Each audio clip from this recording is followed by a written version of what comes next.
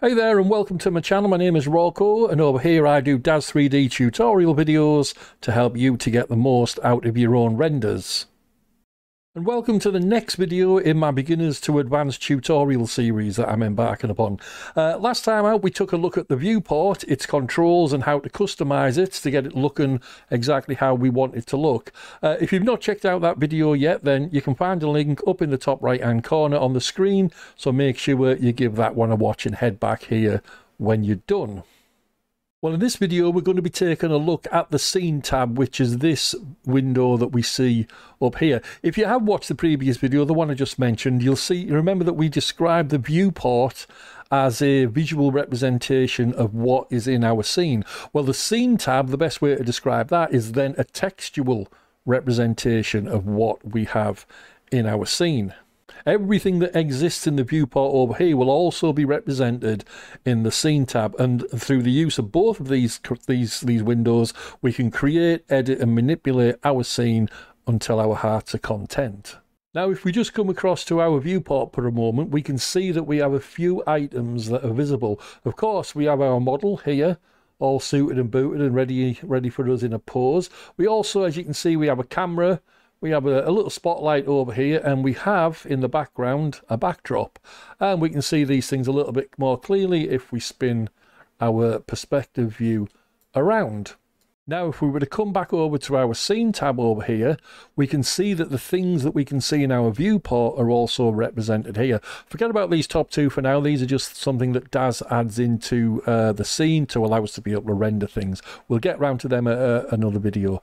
Uh, but for now, as you can see, we can see our spotlight, we can see our camera, we can see the backdrop, and of course, we can see our model. Now, if we were to select the camera in our scene tab by just clicking on it, you will see that it also selects it over here in the viewport. And likewise, if we were to come across to the spotlight over there and give that a click, you can see that we select it in the viewport, but it then also selects it in the scene tab.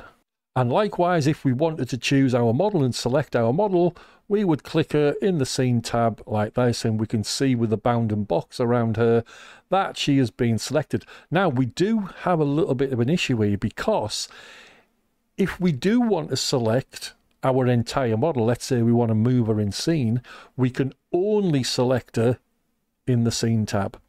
If we go to select her over here in the viewport, take a look what happens here. We come across where she is and we give her a click.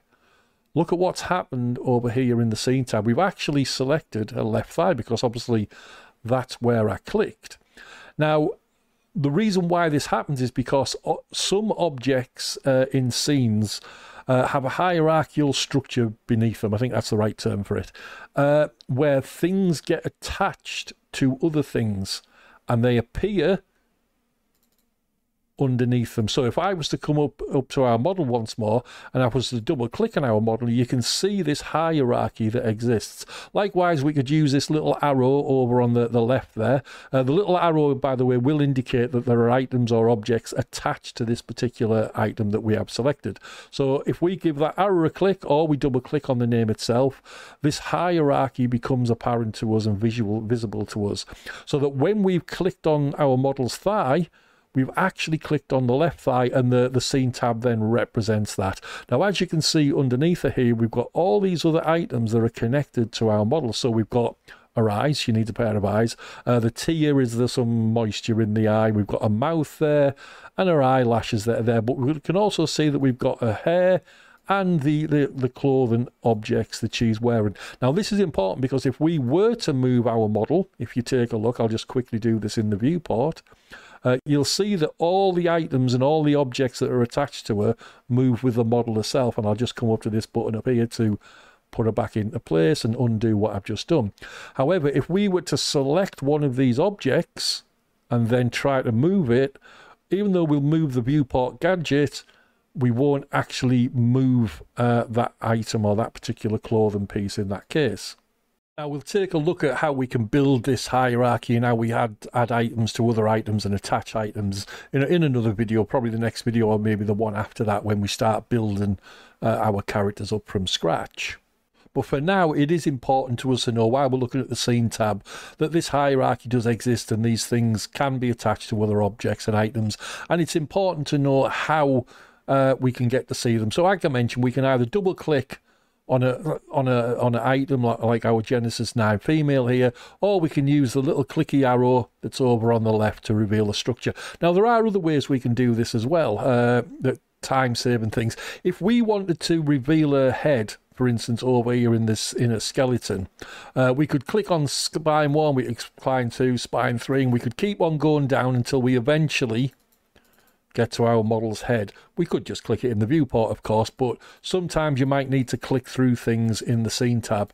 Uh, if I close everything up again, because obviously that was a little bit of a a bit of a pain and it hurt my finger with all the repetitive use of my fingers. One of the things that we can do, we could click on a body part. So for instance, if we were on spine, have it selected and then right click on our menu.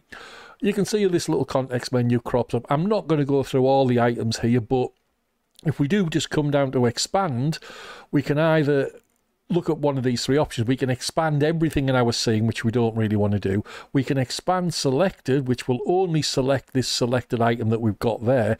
Or we could do expand from selected, and then that'll expand out everything below uh, the spine in the hierarchy. So you can see these all these bones from, uh, you know, a belly, for instance, upwards throughout our entire uh, model. Likewise, we could right click and come to collapse and do the same thing, and it will close everything up for us, as you can see.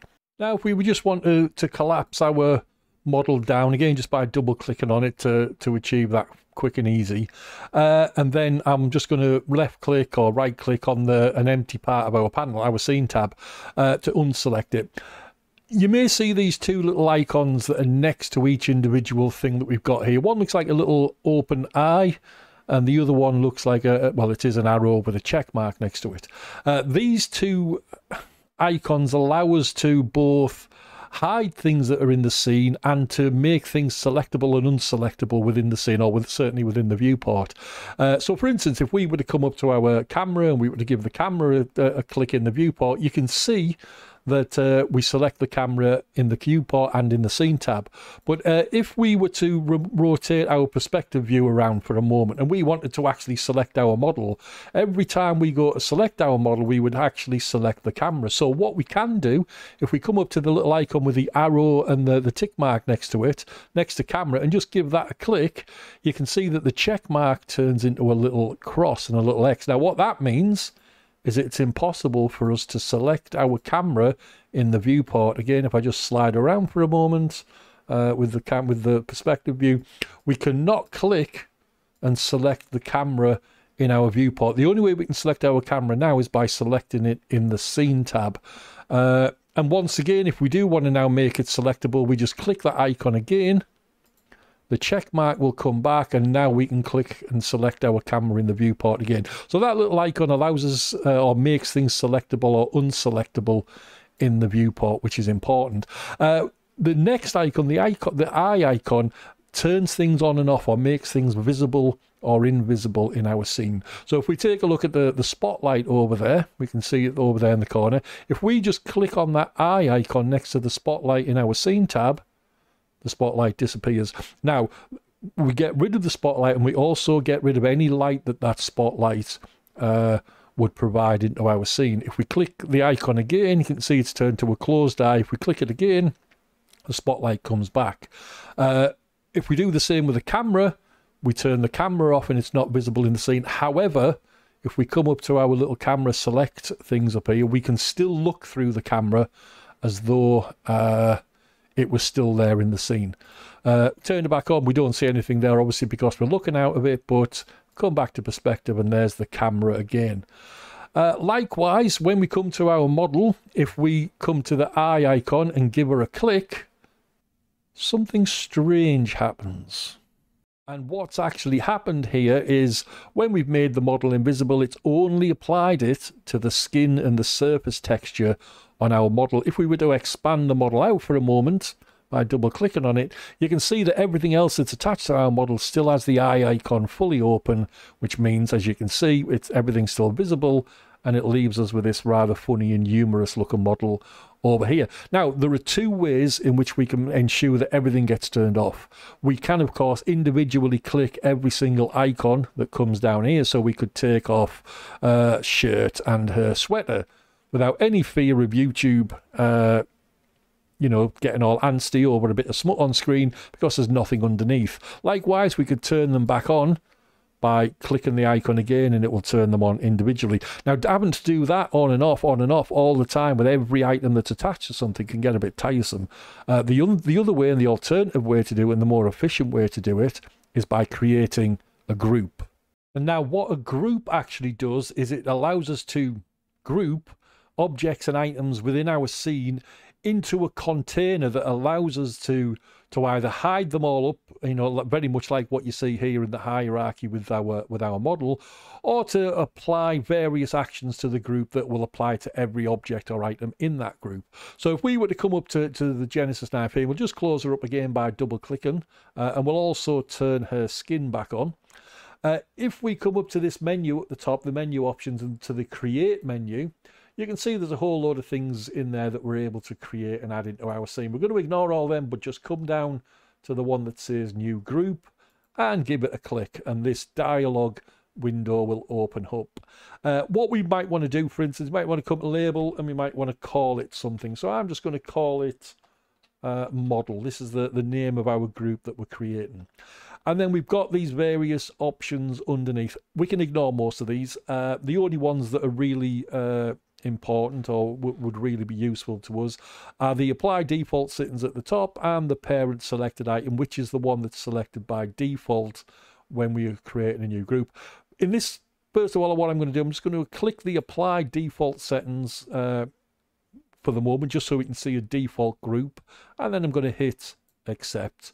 And as you can see, up in our scene tab, a group has been created uh, into our scene. There's nothing in it, but it's signified by this little circle. There's nothing in there. It's just a standalone group uh, that's just empty with nothing going.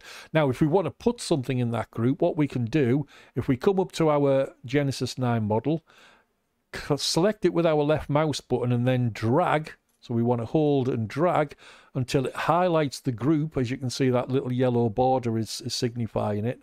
And then just drop it and letting go of our mouse button, you can see that it's dropped our female, our Genesis 9 female, into this group that we've got. And now what we can do, we can apply our visible or invisible icon and give it a click and our entire model will now turn off uh, because that icon is now applying it's it's it's being applied to everything that was within that group so if we were expand out our genesis 9 female you can see that everything has had its uh, visible icon turned off. Likewise, we come back up to the model and we, we click it again to turn it all back on.